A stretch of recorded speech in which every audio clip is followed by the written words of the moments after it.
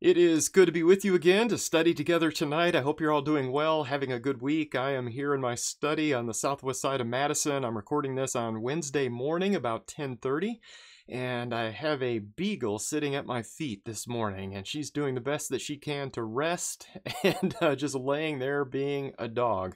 And I just want to let you know that in case we have a UPS truck drive by or FedEx or the US Postal Service, it is on and she is out of here barking. And I'll just give you heads up now in case that happens later in our study. Uh, we have some good changes coming up this coming Sunday morning. We plan on meeting for worship at 9 and also at 11. And we plan on having a Bible class in between those two services at 10 a.m.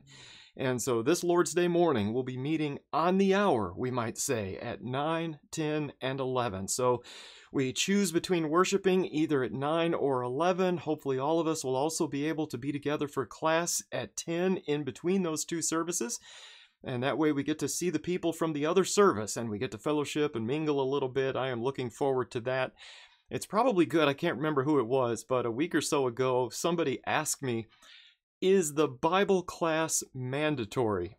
Is the Bible class mandatory? And I should have said yes, because if you fail the class, you will need to take church again next year.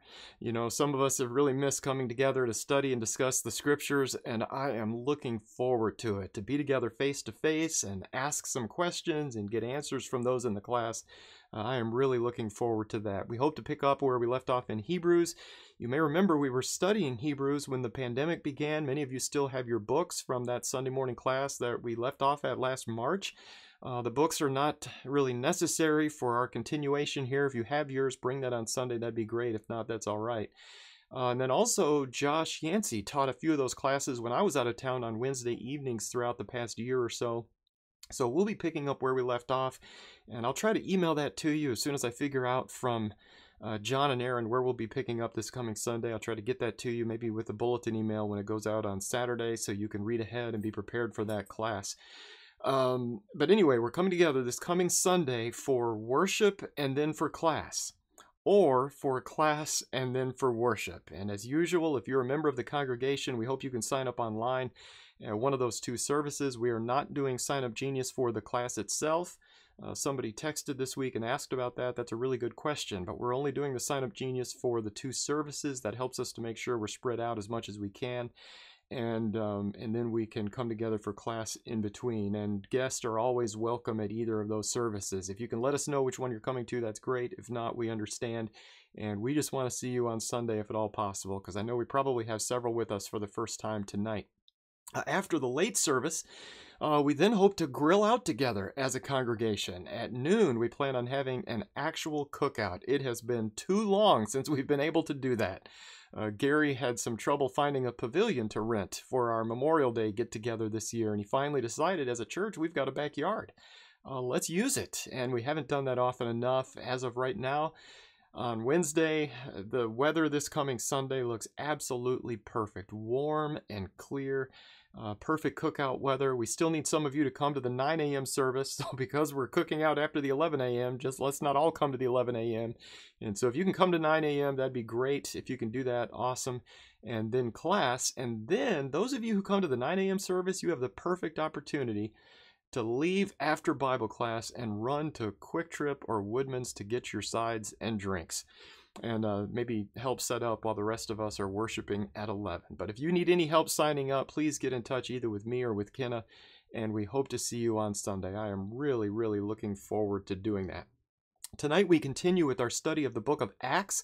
Acts, of course, explains the growth of the early church. It's written by Luke, who is described later by Paul as the beloved physician. And so he's a medical doctor, and he writes this book to a man by the name of Theophilus. He's described as most excellent Theophilus, and that's a term that was used later in Acts to refer to a couple government officials. And so there's a chance that he is perhaps some kind of government official. And so Luke is writing to him, maybe to convince him of the truthfulness of the Christian faith, to try to uh, give him some sense of calm that the church isn't out to overthrow the government, that kind of thing. But uh, Luke writes the book of Luke and the book of Acts to the same man, this man by the name of Theophilus. Uh, Luke covers the life of Jesus, And the book of Acts we might describe as volume two, and describing the growth of the early church. It describes a period of time from roughly 30 to 60 AD. Up to this point in the book, we have looked at the first eight chapters. We're partway through chapter nine as of right now. Uh, in the ABCs of Acts, this is our memory tool to try to help us remember what's in each chapter. It's not perfect, but it does help us remember. It's a good tool to use. Uh, we summarize chapter 1 with the word ascension, where Jesus ascended back into heaven. In Acts 2, we looked at the beginning of the church. In Acts 3, we saw a man carried by his friends, laid down there, left at the temple gates. He's healed by Peter and John. And so the summary is carried and cured. In Acts 4, Peter and John are arrested. They are threatened by the council to stop preaching about Jesus, but they are determined disciples, and so they continue preaching despite those threats. In Acts 5, we had the empty jail as Peter and the other apostles are arrested, and then they're let out of jail by the angel, and they go back to preaching. So there is the empty jail. We've summarized Acts 6 with the words first deacons, but always with a question mark. Uh, seven men were appointed to coordinate the feeding of the Greek speaking widows. It seems to be the work that deacons would do. They are servants, and yet that title is never officially given to them. They seem to be kind of the prototypes for deacons, perhaps. So, first deacons with a question mark. In Acts 7, we had Stephen, one of those seven men, stoned to death for preaching. And it's a great sermon summarizing the history of the Jewish people. And so Stephen is a great hero. And then in Acts 8, we had Philip preaching and baptizing the Samaritans and the Ethiopian eunuch. Uh, when he first meets the eunuch, Philip asks him, Do you understand what you are reading? And you may remember the eunuch replies, How can I? Unless someone guides me. So sometimes we need help understanding something. And that, again, is the value of coming together as a church to study these things. And last week we looked at the first half of Acts 9, the conversion of Saul, later known as Paul. In the ABCs of Acts, we summarize Acts 9 with the phrase, I am Jesus. So Jesus confronts Saul for persecuting the church. Saul wants to know who the Lord is. Who are you, Lord? And the Lord replies, I am Jesus. That's our summary for this chapter. Saul continues on to Damascus, where he prays and he fasts for three days. And Ananias tells him what to do. Now, why do you delay? Get up and be baptized and wash away your sins, calling on his name. That comes from a parallel account over in Acts 22. We'll get to that in a few months. And so Saul then at this point obeys the gospel. And this brings us to where we are tonight. So we're going to start tonight then with Acts 9 19b through 22. That's our first paragraph tonight. We're not skipping anything, but just notice that the paragraph break fell in the middle of verse 19. And so we're picking up tonight in the second half of verse 19. We covered the first part of that verse with last week's class. So if you have a Bible, great. Uh, it's good to open our own, bring it up on a iPad or a phone, your computer, a hard copy if you can, but I'll also try to have it on the screen for those of you who are uh, joining us online. If you're on the phone, obviously you can't see this, but I uh, hope you have a Bible of your own. But Acts 9, 19b through 22. Now, for several days he was with the disciples who were at Damascus. And immediately he began to proclaim Jesus in the synagogue, saying, He is the Son of God. All those hearing him continued to be amazed and were saying, Is this not he who in Jerusalem destroyed those who called on this name? And who had come here for the purpose of bringing them bound before the chief priests. But Saul kept increasing in strength and confounding the Jews who lived at Damascus by proving that this Jesus is the Christ. I don't know whether we've ever really thought about this, but Saul spent several days with the disciples in Damascus. If we let that sink in a little bit, it's kind of hard for us to imagine what that would have been like. So he came to Damascus specifically for the reason, for the purpose of arresting these people and binding them and bringing them back to Jerusalem to face the chief priests, to be called up on charges of being Christians. But here he sees the Lord on the road, he fasts and prays for three days, he hears the gospel, he obeys it, and now he's fellowshipping with these people he originally came to arrest. And I'm imagining that there might have been some awkward moments in that congregation and some awkward introductions as he met these people and learned their names and perhaps recognized them as those he came specifically to arrest.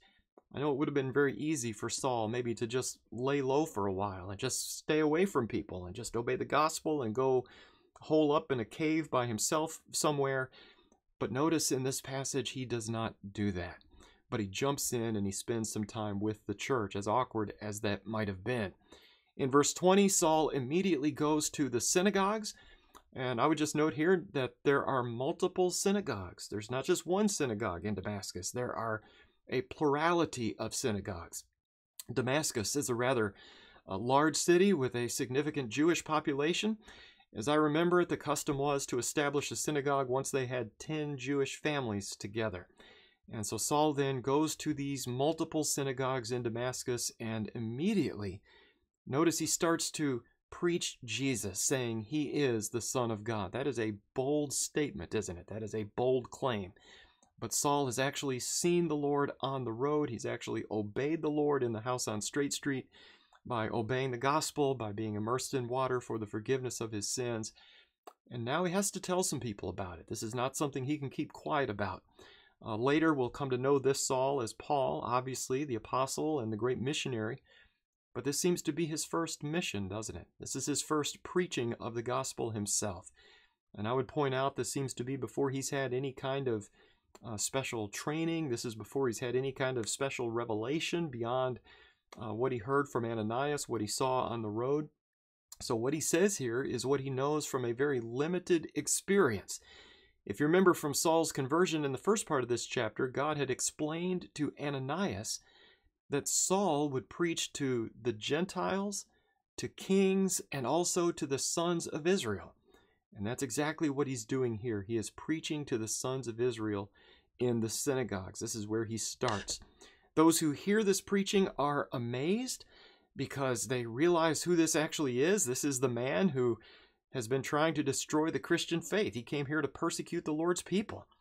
And here he is now, he is preaching the gospel. He's proclaiming Jesus to be the Son of God. This huge change has taken place. Saul has done a U turn, hasn't he? Saul has repented. Repentance is a change of mind, it's a change of heart, resulting in a change in what we do. And that's exactly what's going on here with Saul. In verse 22, Saul is obviously growing in his faith, he's getting stronger day by day. Uh, remember, Saul already knows the law, doesn't he? He already knows the law of Moses. He knows the prophets. He knows the Psalms. Probably a lot of that he knows by heart, by memory. He already has the information he needs. But now he sees everything from a new perspective and he's able to apply those scriptures that he's known so well before. And he uses this new perspective to confound the Jews by proving that Jesus is the Christ, the Messiah. To confound, the word means to pour together or to confuse, to throw into confusion. In these local synagogues, they now have a highly respected rabbi from Jerusalem in the form of Saul, and he's actively convincing people that Jesus is the Christ. Christ, by the way, goes back to a Greek word meaning anointed. It's the Greek form of the Hebrew word Messiah, which also means anointed, a reference to Jesus being uh, chosen or anointed. By the way, the word Jesus is not in the text in this verse, although the name is implied. I just want to point that out. In the New American Standard, the word Jesus is in italics in most of our Bibles, meaning that the word Jesus is not there, but they put it there to help the sentence make sense in English. If you're reading from the King James Version or the Old American Standard Version, I think they say something about Saul proving that this is the Christ, or something along those lines. Maybe a little bit different, but uh, this is the Christ. Not Jesus is the Christ, but this is the Christ. Well, the verse is obviously talking about Jesus, but I just wanted us to be aware of how various translations handle this. The word Jesus is not in the Greek text, but it is implied by the structure of the sentence. So, some translations will add that, but uh, hopefully yours will add that with italics so that we know that this was added by the translators. Just wanted us to be aware of this. Well, we continue with Acts 9, verses 23 through 25. Acts 9, 23 through 25. When many days had elapsed, the Jews plotted together to do away with him, but their plot became known to Saul. They were also watching the gates day and night so that they might put him to death. But his disciples took him by night and let him down through an opening in the wall, lowering him in a large basket. So some time goes by. The Jews make a plan to get rid of Saul. He is uh, preaching false doctrine, according to them. Probably that's uh, it's obviously against what they believe. So Saul gets wind of this, and it's legit. These people are even watching the gates 24/7 so they can put Saul to death. But his people put him in a basket, and they let him down through a hole in that wall. I want to just note that uh, the reference to his disciples in verse 25 is a little bit interesting. His disciples, referring to Saul's disciples. In a sense, these people were disciples of Jesus, they were disciples of Christ, but they were also Saul's disciples. And we need to admit that. That's just an interesting way of wording this. Uh, later in 1 Corinthians 11 1, Paul would say, Be imitators of me, just as I also am of Christ. And so, in that regard, it is okay then to follow a person spiritually but only to the extent that that person follows Jesus. And that seems to be what's happening here. Well, his disciples save his life by helping him escape. Uh, as we noted back when Saul was the one doing the persecuting in the opening verses of Acts 8, one valid response to persecution is to run, isn't it? If we're threatened for our faith, we don't always need to stay around and wait to get slaughtered. But if we have a way of escape, it seems that we have God's permission to get out of there uh, up to and including getting stuffed in a basket and shoved through a hole in a wall and let down on a rope. Before we move on from this part of it, I also want us to think about this from Saul's point of view. What a change in circumstances, isn't it?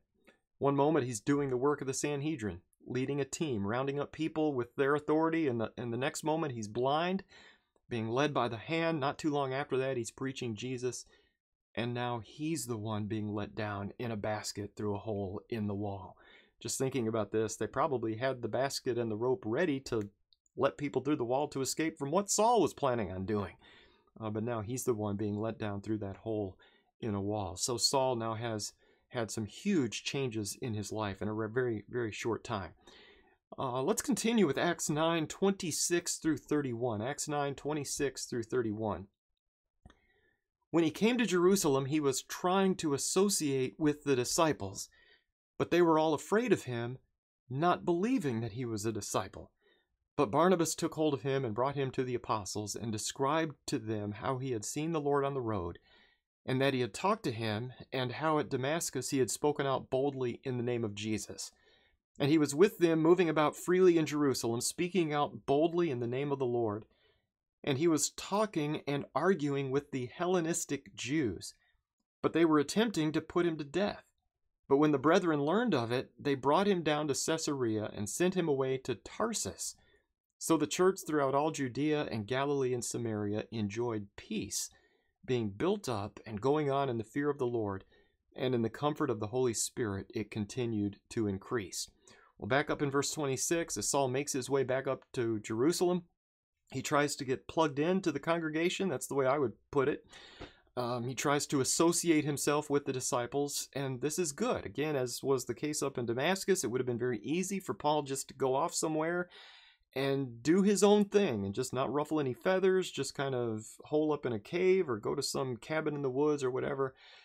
But I would just point out here that Saul needs the fellowship, he needs the connection. There's a huge value in being connected with a local congregation, and that is absolutely what Saul is trying to do here. However, what's the issue? Obviously, the Christians in Jerusalem are afraid, aren't they? They're skeptical.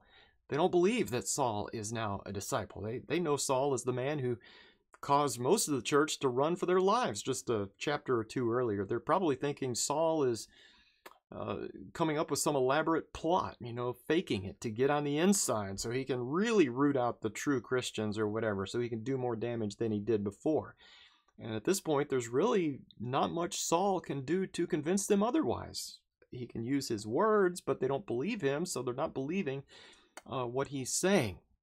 But Barnabas speaks up and vouches for Saul at this point. So Barnabas puts his own reputation on the line for someone who is practically a stranger. Only perhaps even worse than a stranger, right? Saul is a bad man who's recently had a change. Barnabas is vouching for the change. He takes hold of, Paul, of Saul, he brings him to the apostles. So it's almost as if he brings him by the hand. This is my friend. I know this person. And so he doesn't just tell but he brings and he tells. Show and tell, we might say, with Saul. So Barnabas explains what's happened, the vision of the Lord on the road, the fact that Saul had spoken out boldly in the name of Jesus, putting his own life on the line, and so on. So Barnabas is explaining them this man is one of us now. And that's a concept that we still understand today. When somebody we don't know comes to us and they want to associate with us as a congregation, uh, there is some communication that takes place. In some way, the elders make contact with somebody who can vouch for this person, maybe with the elders of the church they're coming from, or the preacher, somebody from that church who knows that situation. And we'll see this elsewhere in Acts and a few other places throughout Paul's letters. But it's interesting to me that Barnabas does this for Saul. Because Barnabas did what he did here, we find that Saul is accepted by the church. He is with them, as the text says, and he spends some time in Jerusalem speaking out boldly in the name of the Lord. So, what Saul had done in Damascus, he is now continuing in Jerusalem. In verse 29, he's discussing, he is arguing with the Greek speaking Jews, the Hellenistic Jews. So, these would be Jewish people from a Greek background, but they, like the Jews in Damascus, are also trying to put Saul to death. So, once again, the tables have been turned. Saul, the persecutor, is now being persecuted. So, the one who had been chasing people is now on the run himself. And at this point, the brethren get Saul out of there. They take him to Caesarea, they send him off to Tarsus. Uh, later in Acts 22 3, we find this is where Saul was born, so they uh, send Saul back to what is basically his hometown for a little while, kind of get him out of that, uh, that stressful situation. It was causing some havoc in the church. Uh, we end this paragraph on a positive note. Saul, the primary persecutor of the church, has now been converted and the church is at peace for a little while. And this is a rather large area. So the church throughout all Judea and Galilee and Samaria, they're being built up. I know sometimes we refer to being edified, like the edifice of a building. And so they are being built up. That's the same thing. They're getting stronger. The church is growing. They're progressing in the fear of the Lord and in the comfort of the Holy Spirit. And the church is growing in number. They are increasing. Well, now that Saul is out of the picture for a little bit, we have a few quick updates from Peter. And if you remember when we looked at the title of this book, the book of Acts, uh, some have described it as the Acts of the Apostles, but kind of a more accurate title that we gave it in this class was some of the Acts of some of the Apostles. So we've really only focused on Peter and John for a few chapters, and then we moved over to Saul. We're going to get back to Paul a little bit later in a few chapters. So, really, this is just some of the acts of some of the apostles. But anyway, we're going to pick up tonight with a little bit more on Peter before we end this chapter in a few moments here. But let's look at Acts 9, verses 32 through 35. Acts 9, 32 through 35. Now, as Peter was traveling through all those regions, he came down also to the saints who lived at Lydda. There he found a man named Aeneas who had been bedridden eight years, for he was paralyzed. Peter said to him, Aeneas, Jesus Christ heals you. Get up and make your bed. Immediately he got up, and all who lived at Lydda and Sharon saw him, and they turned to the Lord. This is a miracle that's often overlooked. Uh, the healing of Aeneas, this man who was paralyzed and bedridden for the past eight years. This is not one of the most famous miracles in the Bible, is it? This is something uh, many people don't even know about. But before we get to the healing itself, notice that Peter is traveling. So the apostles seem to have been based in Jerusalem, at least for those first few years. But Peter, at least, is using this time to travel around the whole area. So this is Peter. What about the other apostles? We don't know. Uh, we assume maybe they traveled in other directions. They took turns. I don't know. But uh, this is this is Peter's activity here. Uh, so here, Peter makes his way to Lydda. Uh, this was also known as Lod, L-O-D, um, in the ancient world. If you look that up online, look under Lod or Lydda. Uh, Lydda is roughly 30 miles west-northwest of Jerusalem, about two-thirds of the way over to the Mediterranean Sea. And Peter goes there to check on the saints who were living there. So he's doing home visits, he's traveling around, checking on things, encouraging people, uh, just like we might call or text or send a message to each other today to see how it's going uh, Peter traveled from one place to another. And on this trip, he runs into Aeneas and he heals him right there on the spot. So he sees a need, he takes care of it. He does this in the name of Jesus Christ. Uh, this man gets up, everybody in the area sees this, and they also turn to the Lord. So it's just a very brief account of a healing, but it fulfills the purpose of healing in the Bible. It wasn't just to make people feel better, it wasn't just to relieve suffering, that was certainly part of it. But it proves that Peter is a messenger from God to these people who didn't know Peter in this area in these days before they had the gospel accounts in written form. So Peter does this healing, he's able to preach and teach, and a lot of people in that area believe. Well, let's continue with Acts 9 36 through 43. Acts 9 36 through 43. Now in Joppa there was a disciple named Tabitha, which translated in Greek is called Dorcas. This woman was abounding with deeds of kindness and charity which she continually did. And it happened at that time that she fell sick and died. And when they had washed her body, they laid it in an upper room. Since Lydda was near Joppa, the disciples, having heard that Peter was there, sent two men to him, imploring him, Do not delay in coming to us. So Peter arose and went with them. When he arrived, they brought him to the upper room, and all the widows stood beside him, weeping, and showing all the tunics and garments that Dorcas used to make while she was with them. But Peter sent them all out, and knelt down and prayed. And turning to the body, he said, Tabitha, arise. And she opened her eyes, and when she saw Peter, she sat up. And he gave her his hand and raised her up, and calling the saints and widows, he presented her alive. It became known all over Joppa, and many believed in the Lord. And Peter stayed many days in Joppa with a tanner named Simon. So we learn about Tabitha in this passage. This passage holds a special place in our hearts uh, for reasons that are obvious to most of you who know our family. When we started looking for a name for our daughter, we were impressed by this character in the Bible, and we faced a decision. Do we name our daughter Tabitha or do we name her Dorcas? Dorcas is the Greek version of this woman's name. Tabitha is the Hebrew or the Aramaic form of this woman's name. And both words refer to a gazelle, a gazelle, as in like a deer, a deer or a gazelle. Um, but I think uh, our daughter might be somewhat relieved that we went with Tabitha instead of Dorcas. Uh, what we didn't really realize is that our son's name means lover of the forest. uh, or hunter, you know, somebody who spends time in the woods. And so we have a hunter and a deer or a gazelle in the family. In hindsight, maybe not the best combination, a hunter and a deer in the same family, but it has worked out so far so good. Uh, we find in this passage that Tabitha lives in Joppa.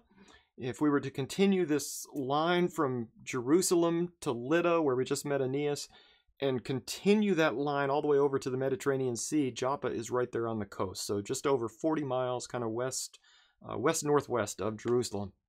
And in this passage, we learn that Tabitha is a woman abounding with deeds of kindness and charity, which she continually did.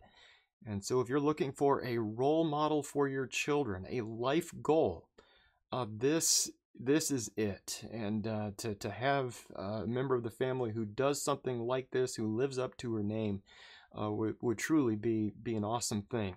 Uh, if you remember from our study of Luke, Luke has a way of lifting up the oppressed and those who are often overlooked in the ancient world women, widows, children, the poor, the sick, and so on. And he does this with Tabitha, doesn't he? He praises this woman. So it's not just this random healing of a woman, but it is this woman we can look up to. She is an example. And Luke explains and describes who she is and what she does. She was constantly doing good deeds to actually help people. In verse 37, we find, though, that Tabitha gets sick and she dies. And they wash her body as the custom was, they lay it in an upper room. But when they hear that Peter's nearby, they send two men to go get Peter, and they tell him, Do not delay. It's interesting to me that we're not told that they tell Peter what they want to happen. They don't say, Come raise her from the dead. Um, but to me, it does seem that this is a bit more than a funeral. Uh, there's not a rush so he can preach a funeral, at least in my mind. That does not really seem what's going on here. We're not told, uh, but there is a sense of urgency here. So perhaps in the back of their minds, they're, they're thinking this might be a possibility. I, I wouldn't swear my soul on that, but it just seems kind of strange that they're in such a hurry to get Peter there. Well, when Peter arrives, the disciples bring him into the upper room And we have the widows weeping and showing Peter all the clothing that Tabitha used to make. The idea of the being that the widows perhaps uh, helped her with this, or maybe Dorcas or Tabitha kind of organized these women, got them going, making these things, and and that kind of thing. And I think of some funerals that I've done through the years, and some funerals I've been to, where this would have completely been possible to walk into the funeral home or the church building and, and to see things that this person has done. Some people really have a, a reputation for helping others, even to the point where we could probably spread it out like this. This is what this person has done. We have members of the Four Lakes congregation like that. And they, they put these garments out there on display. This is what this woman has done to actually help people. And without anybody even asking him to do it, at least as far as Luke records it, Peter kneels down and he prays. Uh, this, by the way, is one of several postures that people have taken for prayer in the Bible. Sometimes people will ask about this. You know, what's the best way to pray? Sometimes people in the Bible would stand to pray. Sometimes people would lift their hands to God in prayer as if receiving a blessing from God. Uh, sometimes people in the Bible would just lay down flat on their front with their faces in the ground to pray. Uh, but here, Peter kneels.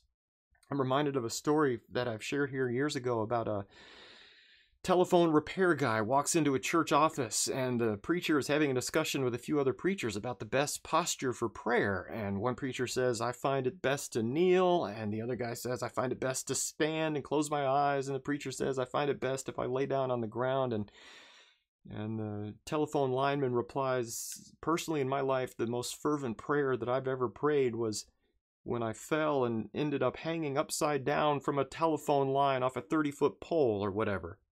And I think we understand what he was saying there. It's not the posture that we take, but it's the, the reverence and the urgency of our prayer. So here Peter kneels. Uh, most of you know I preached down in Janesville for seven years before coming to Madison. And the pews down there at their church facility are really far apart. You can just, you don't have to scoot between them. You can just walk down the rows in between those pews.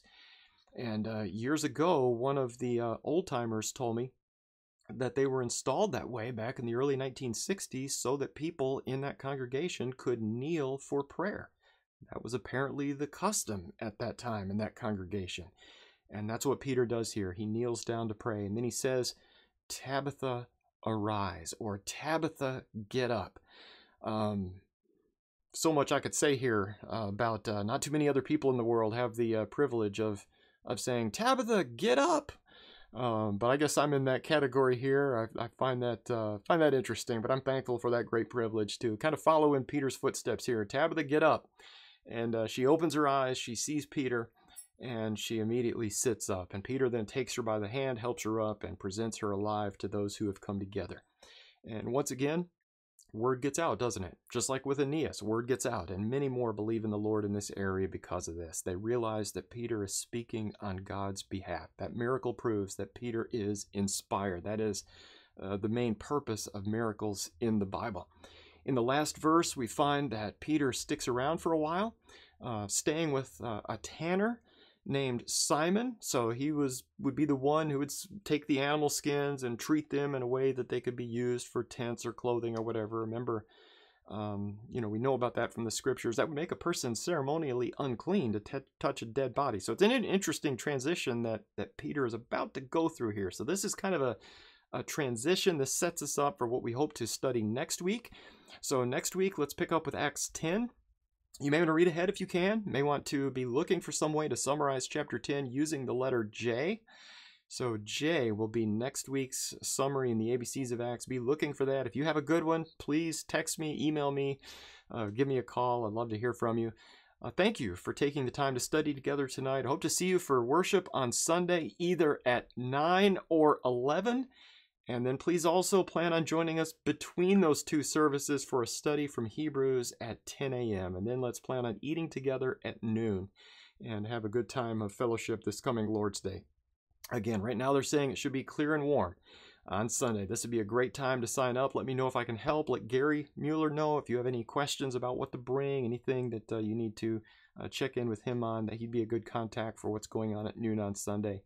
And uh, let me know if you have something that we need to be praying about, or call one of the other elders, text or email them. Their information is on the front of the bulletin that most of you should have. Uh, let's close tonight by going to God in prayer. Our Father in heaven, you are the great and awesome God. And tonight we've looked at the change that took place in the life of your servant Saul, and we've been encouraged by his persistence in the preaching of the gospel in spite of persecution. We pray that we would have the courage to follow his example. And we've also looked again tonight at Peter, and we're thankful for these accounts. We're thankful for the healing of Aeneas and for the raising of Tabitha from the dead. And we pray that these two events would strengthen our faith and bring us closer to you. We pray that we would serve others just as Tabitha did. We're looking forward to meeting her face to face someday. Thank you, Father, for hearing our prayer. We come to you tonight in the name of Jesus, our Savior. Amen.